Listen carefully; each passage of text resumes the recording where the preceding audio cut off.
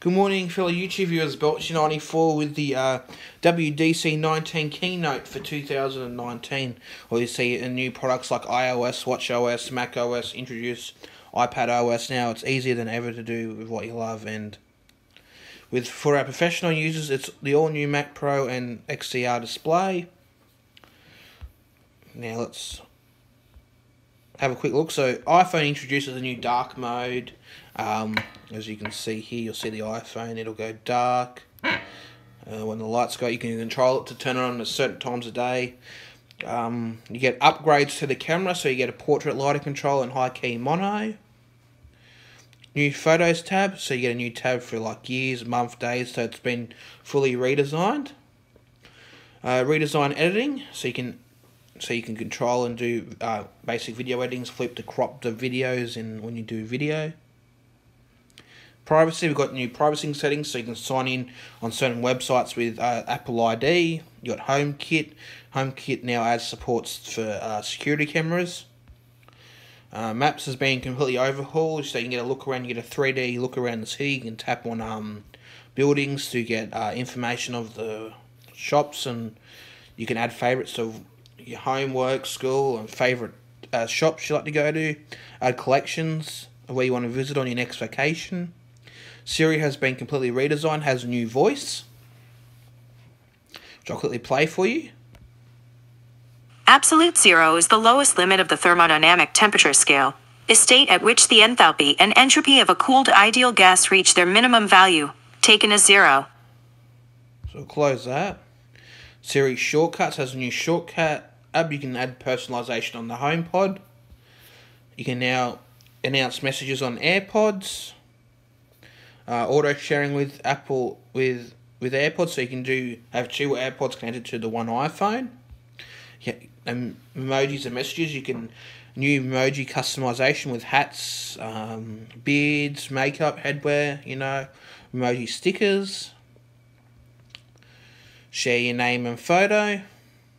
Quick path typing, as you can see there. Reminders has been completely redesigned as well so it has power. You can use has powerful Siri integration into it as well, as you can see here. Quick toolbar, smart links, CarPlay has been completely redesigned, new interface as you can see here, new calendar app, new music app. Um, performance it adds um the type image titles. iOS 13 has better performance to iOS 12. For example, Face ID unlocks 30% faster, faster app launched saying Apple saying that it will launch two times faster, so much more. But it all depends on your version. You get Apple Arcade, voice control. Voice control's been completely overhauled. So for someone that has like just has hard issues using an Apple product, they've made it more easier for you to use. Text formatting your mail, new and improved notes, um, a new personalized health app, improved start pages in Siri, uh, uh, the files app has been completely redesigned. AR Kit 3 support. Uh, font management, you can change fonts. Smart, uh, smarter ways to share. The interface for that has been changed. And there's all your compatible devices. So you pretty much need um, an A9 chip and higher, pretty much, um, for the the iPhones and iPod Touch. And we'll go back. We'll have a quick look at the Pad OS. So it's been that has been completely redesigned, has its own operating system, as you'll see here. Um, so it's while it's built on the same foundation as iOS, iPad has become truly extinct experience with powerful apps designed for large, multi-touch displays, multitasking, simple with two gestures. The ability to drag and drop with fingertip has been magical. Now it's called Pad OS. Has a new slide over in split view, multiple apps in slide over. As you can see here, keep all your favorite apps at the ready in slide over. Apps in multiple spaces. Um, App Exposé. So it, iPad's always had its features, but in this version it seems to be more refined. It's a lot better. Um, new home screen, pin widgets, as you can see the home screen here. Apple Pencil, so they've improved the support for Apple Pencil. New tool palette, you can drag and drop wherever you want it, shrink it um, full page markup, capture a screenshot of an entire page, document or email or mark it up, to make notes. So it's perfect for the uni student. You can use Sidecar and Mac OS, so you can turn your uh, your iPad into another uh, sec- secondary monitor, and use the and do um, like use touch ups with the Apple Pencil. Text editing. So you can edit gestures, copy, paste, undo with a simple new gesture. Three finger pinch, as you saw there in that clip. We'll slide over and I'll show you some more. See? And it's gone. Cursor navigation. Pick up the cursor and drag it where, precisely where you want it. Multi-select. Quickly select a block by dragging of text by dragging your finger over it. Integrated text selection. Keyboard. Floating keyboard, so you can pinch the quick keyboard and move it to wherever you want for one easy one hand typing and more room for your apps. Quick path typing, type by swiping from one letter to the next. A keyboard shortcuts, navigate the web in Safari and manage your files faster with a lot of new keyboards and shortcuts of physical keyboards. Fonts, fonts management, so you can choose your fonts in certain applications. Files, File app has been completely redesigned, overhaul for the iPad, redesign file apps, collaborate on files and documents with shared folders so everyone in the loop. You can connect to a file server so get to those work get to get to those work files from a server or home PC right from the Files app. Connect. So this is the first time on iPad you can connect hard drives. Connect external hard drive, SD card reader, and yes, even a USB drive about time. So we might be getting a. I'm assuming we might be in Lightning to USB adapter for the older generation if they get it. Browse the internet on iPad is so immense it's like holding web in your hands now. Powerful new features make Safari on your iPad OS a desktop class experience. You get desktop class browsing, download manager in Siri, dark mode, so the iPad does get dark mode. Privacy and security, sign in with Apple, as I showed you before in um, HomeKit, secure video, which I've also shown you in the iPhone section. Photos, an all new Photos tab. It's also been redesigned, as you can see here. Slightly different layout on the iPad. Redesign editing, powerful video editing. So I feel finally the iPad, especially the newest iPad, it's finally getting used to its to its strengths because it's a very powerful device. It wasn't getting software was limiting it. Performance. iPad has always been fast, but with PadOS you'll notice everything's a little faster. Faster on lock, faster app launch. So it's comparing it to iOS 12 and even more. So you get Apple Arcade, voice control, AR Kit 3, a new voice for Siri, smarter ways to share, more useful ways to look at maps, custom emojis and messages, and all new reminders app, text formatting and tools, new and improved notes, auto sharing with AirPods, and handoff to HomePod. You get a whole list of the features, and here is what's compatible. So you need um, an A8 iPad or higher, so you can get the iPad Air 2, iPad Air 3rd generation, um, iPad Mini 4, iPad Mini 5th generation, iPad 5th generation, iPad 6th generation, 9.7 inch iPad Pro, 10.5 inch iPad Pro, 11 inch iPad Pro, and 12.9 inch iPad Pros. So all 12.9 inch are supported. So Watch OS. So WatchOS doesn't look much different, but they've added new watch faces. Follow your activity trends over time. Discover cycle tracking shop for shop for apps from your wrist. With WatchOS 6, you get more insight into your health and fitness, along with some delightful surprises. See, let's have a look. So more insightful, more delightful. So activity trends, cycle cycle tracking, hearing your innovations. The App Store on your wrist. watch OS 6 gets you you get the insides inside you need to stay healthy and fit and more updates surprises to make you fall in love with Apple Watch all over again. So you get new watch faces.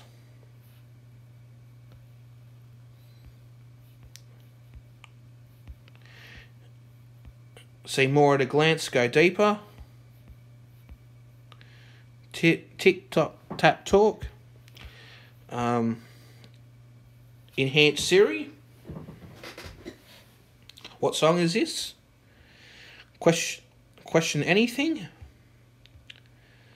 the App Store. So this is the, probably the biggest update to WatchOS is you can now you can now have your own App Store, which you can get you can download apps straight to your Apple Watch, which is before you had to use your iPhone to do it over a Wi-Fi connection.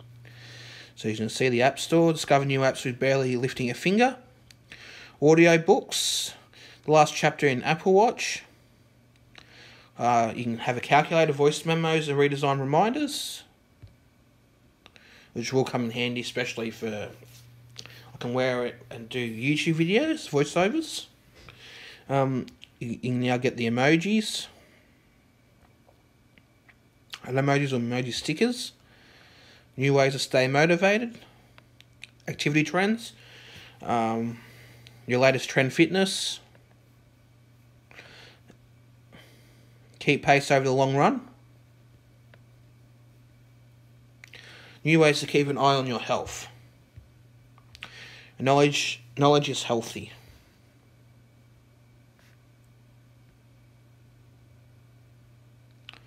Tracking is simple as tapping, as you can see there in that. Where are you in, in your cycle? Hearing health, so when it goes to 11, take 5. Noise, if it's too loud, you can feel it. Your data results. Apple Watch unlocks many powerful personal experience while keeping your private information on the lock and key when you back it up to iCloud. So a more personal health app for you, for you, for a more, more informed you. New developments for developers. WatchOS compatibility. So any watch that is running uh, WatchOS 5 will get this update. So WatchOS 6 requires an iPhone 6s or later with WatchOS watch, with iOS 13 or later and one of the following Apple Watch models. So you'll have to upgrade your iPhone first. So we're going to have a look at the new macOS, macOS Catalina. Um, dive into into music, Apple Podcasts, and Apple TV apps from macOS Catalina. Enjoy more of your apps you use every day now on your desktop and extend your workspace by using an iPad as a second display. Show them. So macOS Catalina. Power of Mac taken further. macOS Catalina gives you more of everything you love about Mac. Ex- experience music, TV, podcast, all all new Mac apps.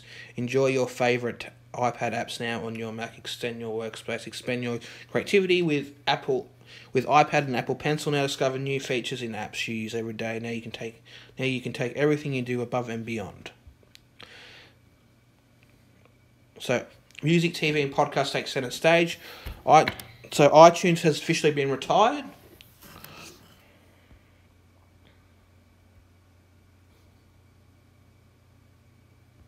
So anything that was in your iTunes library is still accessible in each app. iCloud sync seamlessly syncs, or you can back it up and restore and sync by connecting your device directly to your Mac.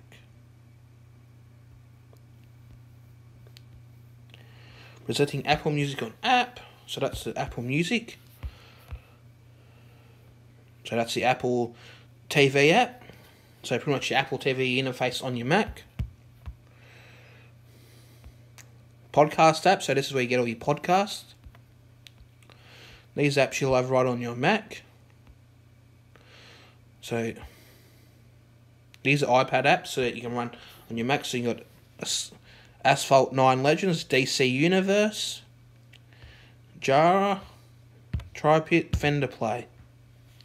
Some of these apps I've never used. Apps you use every day made extraordinary. So that's the Photos app. It's been redesigned again, similar to iOS with month, years, months, days, all photos. Focus on your best shots. Notes, easier to find, easier to share. Reminders, organization, re, organization reorganize. Start browsing faster. As you can see here, Reminders app's been redesigned um, safer browsing faster in Safari. Extend your desktop with your iPad, as you can see here.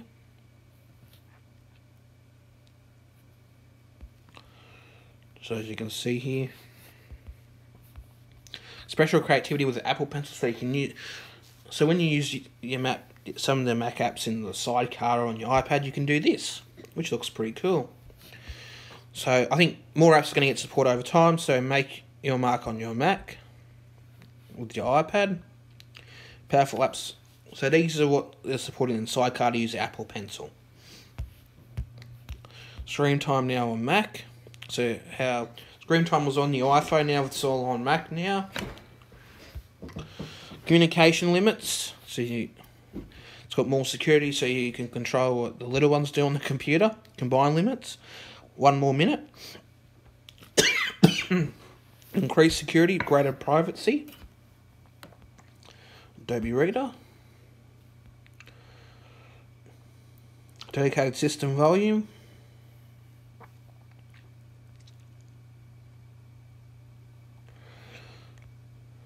So talks about the Apple T- T2 security chip that keeps your Mac secure by ensuring that while it's running trusted software, you're automatically encrypting your your stored data. It also provides secure authentic- authentication for Touch ID and secure payments for App- for Apple Pay and that. I'm shocked that none of them have the uh, Face ID yet. Dedicated system runs on its own read-only volume, separate from all other data on your Mac.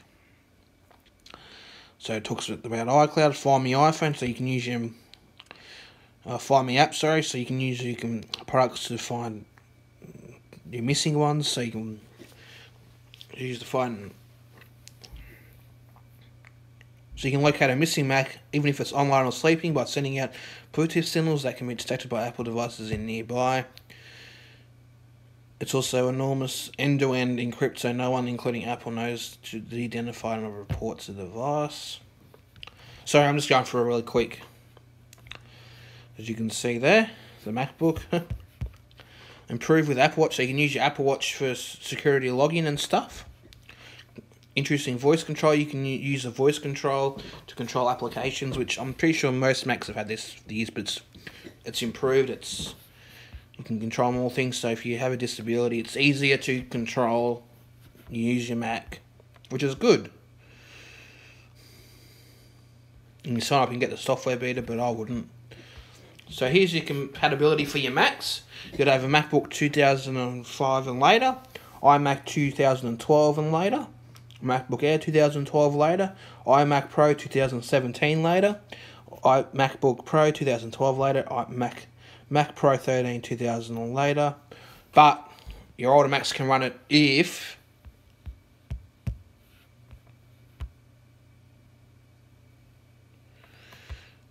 But these Macs can run it, I believe, if you update the, to the Metal Support CPU and a Mac Mini 2012 later.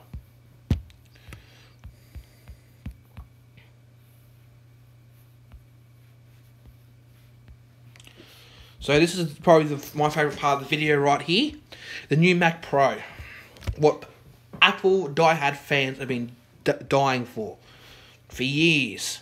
They took Apple took something away away from Pro users back in 2013 with the release of the trash can design Mac. One of the things that people loved with the Mac Pro was to upgrade it over time, so you didn't have to buy a new one every year, or to give it a longer life. Well, this machine has brought it back, as we'll have a look. It's the most configurable Mac. You can so power to change everything. So this is a you can also see it in AR and watch the film. So an interesting design. This is how it's sort of going back to some of the classic design Macs. If you look at it, you've got the handles from the the Power G3, G4 Mac. Um, you have the twist top pull off case of the Apple G4 Cube. Um, the metal design from the G5 and Pro models. Um, yes, but it's a very it's very nice. It's quite interesting. I'm curious to see um, how it cools, how it runs, functional. As you see, you got two uh, Thunderbolt three ports, I believe. As you can see, components. You can you got all the PCI. You can have this machine is over fucking kill. Sorry, but it has up to 28 cores of power. So you probably use this for the next 10, 15 years, really. There's your CPU, SATA. Looks like a USB there. So engineering to go all out, all time, squeezing performance out of 300 watts. So forget everything you know about memory.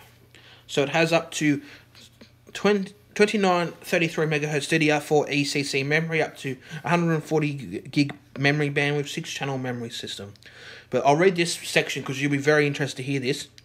A multi-core workstation processor needs a lot of memory to feed it, featuring 6 channels of super-fast ECC memory and 12 physical DIMM slots.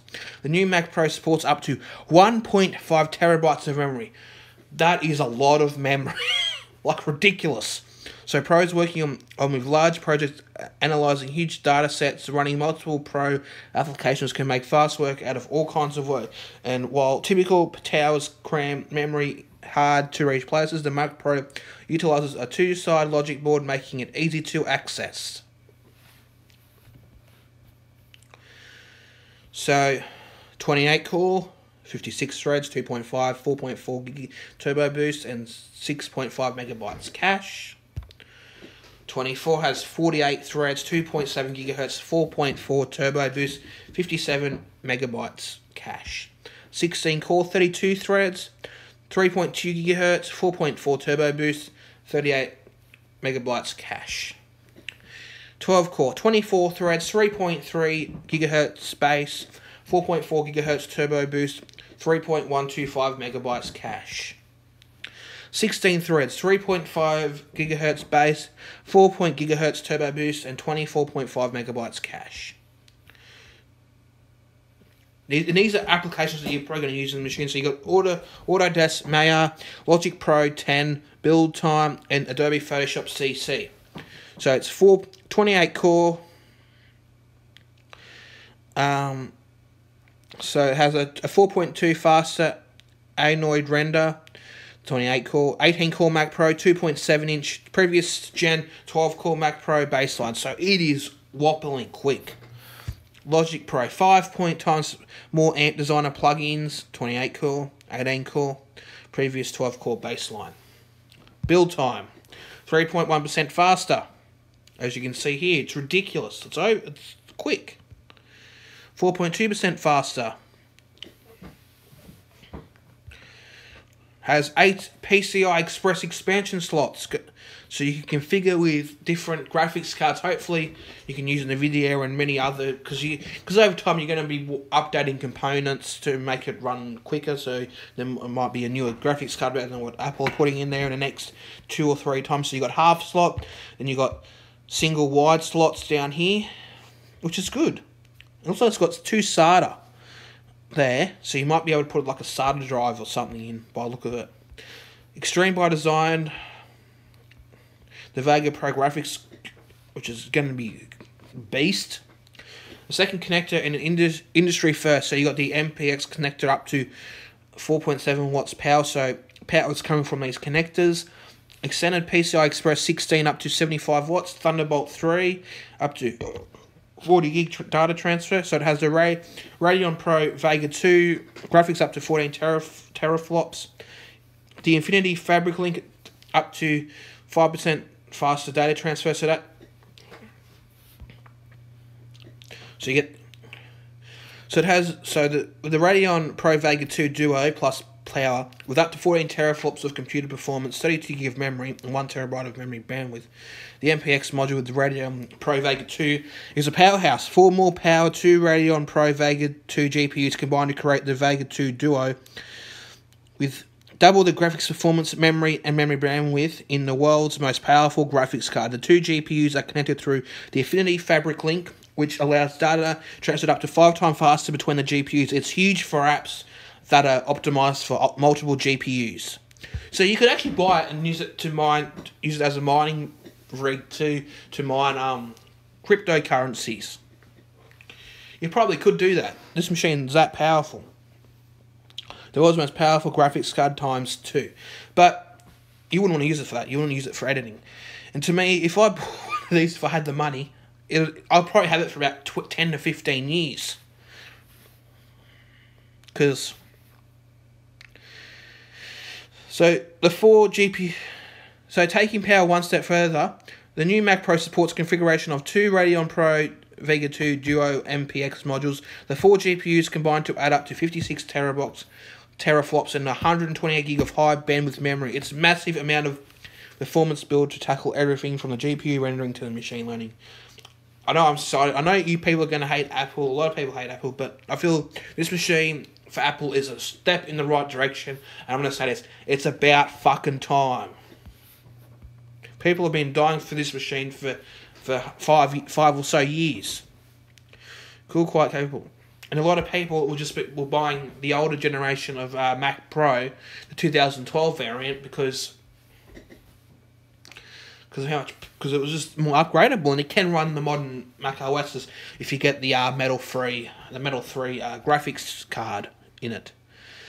See, these are the optional graphics cards so far. You got the the Vega 2 Duo, the the Vega 2, and the Radeon Pro 580X, which tells you 5.6 terabot teraflop single precision, 8 gig of DDR5 memory, 2.5 256 gigabyte of memory bandwidth, and there you go. And there, there's there's your specs for the the Vega Pros. It'd be, it'd be it's overkill really. And you got Maxon Cinema 4D render, two point times faster, 3D performance.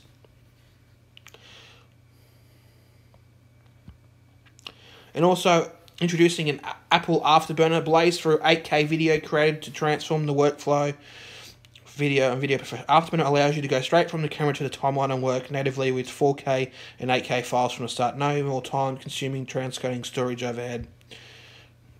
So that takes um that takes some of the video files from the uh, off more tasks off the CPU and puts it on this chip so you can do more with that system as well. And there's the new Apple, the monitor goes with it. Stream up to three 8K ProRes RAW videos at three at 30 frames per second, up to 12 4K ProRes RAW, at 30%, 16 4K ProRes, 4.2 22 video at 30 frames per second. Security taken to a new height, so it has a, the T2W chip, um, up to four terabytes of storage in a RAID. I'm guessing two tera, so it's two terabytes in a RAID. I'm guessing. Powerful I/O at hand. It is very powerful. Rear expansion. There's your expansion slots.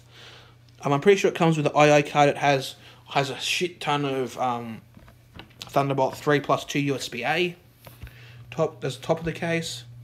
You can use the AR on your iPhone if you use Safari to get an idea of what it will look like.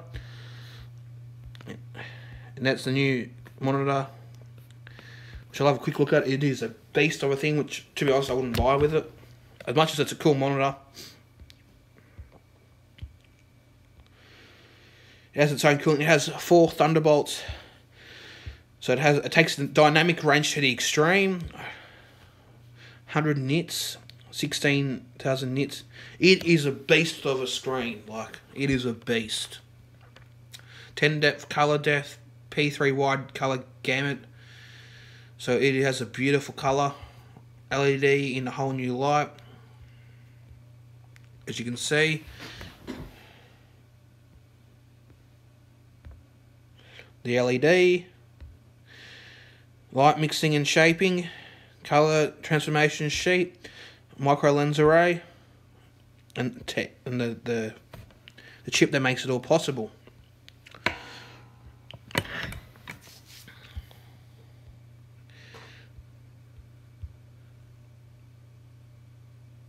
So there you, so that's your 4K, 5K Mac, and there's your 6K. It is huge. So it has a 6K, Retina 6K display. So it has more uh, graphics than the iMac.